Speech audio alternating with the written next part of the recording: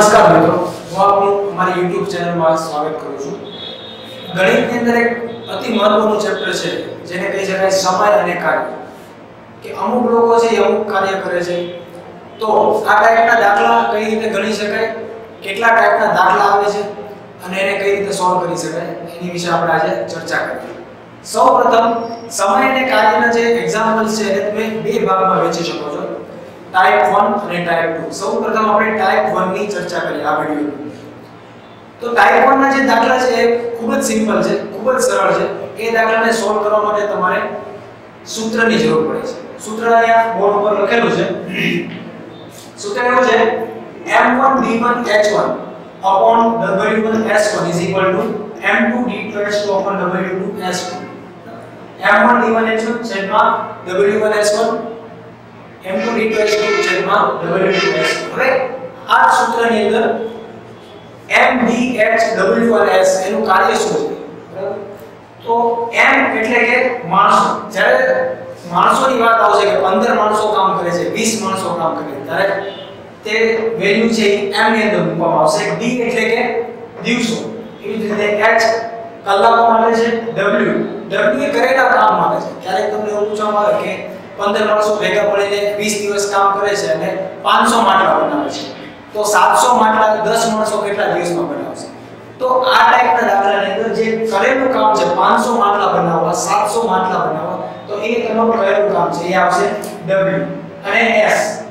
S એટલે salary salary એટલે કે સપોઝ 10 માણસો 10 દિવસ કામ કરે છે, તો એને તમે 1000 રૂપિયાનું વેતન ચૂકવો છો. 1000 1000 રૂપિયાનું મહેનતાણું ચૂકવો છો.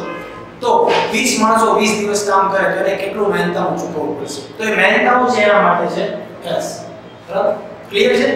એમ ડી એચ ડબલ્યુ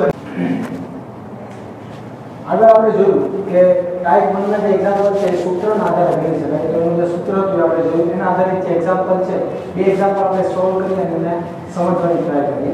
સૌપ્રથમ એક એક્ઝામ્પલ એવું છે કે 15 માણસો એક કામ 30 દિવસમાં પૂરું કરે છે. તો 25 માણસો આ કામ કેટલા દિવસમાં પૂરું કરી શકશે?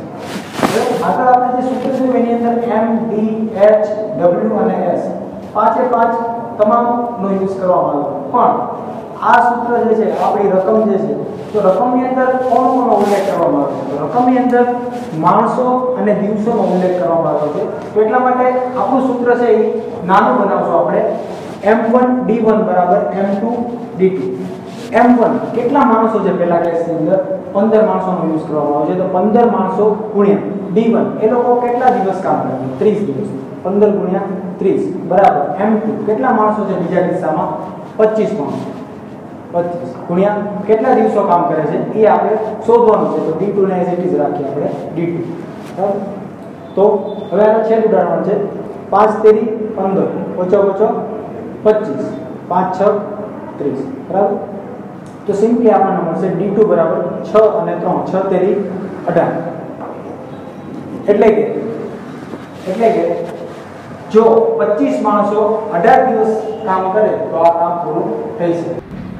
સેકન્ડ એક્ઝામ્પલની વાત કરીએ, તો એની અંદર એક એક્ઝામ્પલ એવું આપવામાં આવ્યું છે કે વીસ માણસો રોજની સાત કલાક કામ કરે તો 15 દિવસમાં કામ પૂરું કરી શકે છે.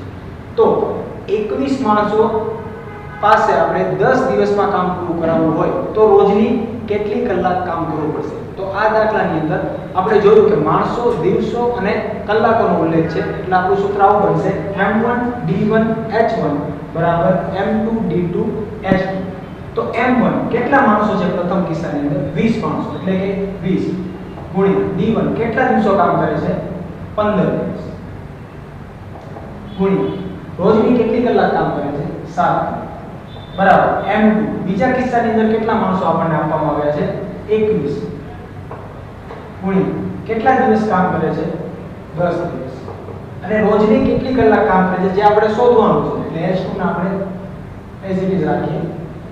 તો 21 અને 10 અહીંયા ગુણાકારમાં છે બરાબરની સામેની બાજુ લઈ જઈએ, એટલે ભાગાકારમાં આવી જશે. એટલે આવું બનશે h2 બરાબર. 20 ગુણ્યા 15 ગુણ્યા 7 છેદમાં 21 ગુણ્યા 10